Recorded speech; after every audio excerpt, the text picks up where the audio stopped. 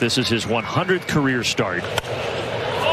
And he throws a two-seam fastball that Soler skies towards De La Cruz for the second out. First inning, Soler popped up, and then he was not too happy over there in the dugout. Now listen, we've all been there, right? You pick up your iPad, you log on Amazon, they tell you it's going to be there by 5 p.m., and then all of a sudden it's 5.05.